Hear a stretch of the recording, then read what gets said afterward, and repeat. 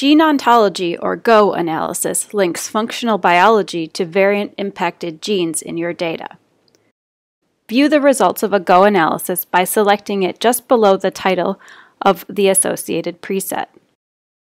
The Go Terms page contains the table of significant terms and the root ontology, the number of genes impacted by variants, and the p-value for each. Directly above the table is a menu allowing you to apply correction factors for multiple comparisons. Or you may apply pruning methods that leverage the structure of the ontology tree to find the truly significant terms in your data. You may also filter terms by selecting a root ontology in the interactive pie chart or by typing names of terms or their associated genes into the search bar. Selecting a Go term in the table opens up the Details panel. In this view, you will find more information about the Go term and the phenomenon it describes. The ancestor chart displays the selected term and all of its ancestors, those ontology terms representing related but less specific phenomena.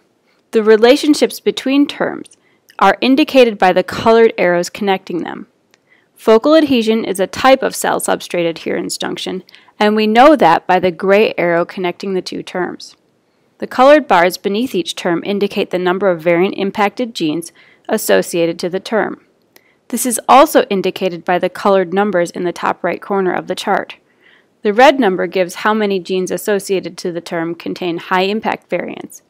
The yellow, genes with moderate impact variants, and so on.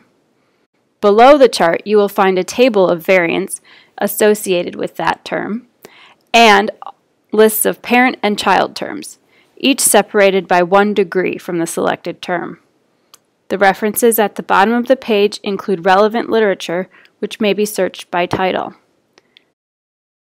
Both the table of terms and the ancestor chart may be downloaded, so you can easily share your findings.